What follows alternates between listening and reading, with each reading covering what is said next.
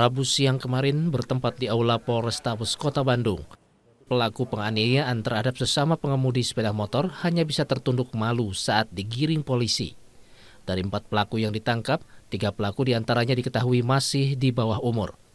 Selain menangkap empat pelaku, polisi juga menyita dua unit sepeda motor dan juga baju pelaku sebagai barang bukti. Polisi masih memburu pelaku lainnya yang kini masih buron. Peristiwa penganiayaan terjadi pada Jumat malam tanggal 22 April di kawasan Jalan Banda dan juga Simpang 3 Jalan Ambon, Kota Bandung, Jawa Barat. Nah, dan pelaku-pelaku lain sesuai dengan berita acara yang sudah ada, sedang kami lakukan pengejaran untuk ditangkap.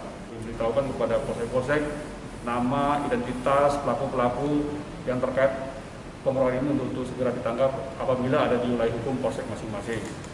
Dan untuk uh, kelompok XTC, ya, kelompok XTC yang melakukan pengeroyokan terhadap uh, korban yang uh, sedang proses perkaranya agar menyerahkan diri ke Polrestabes Bandung.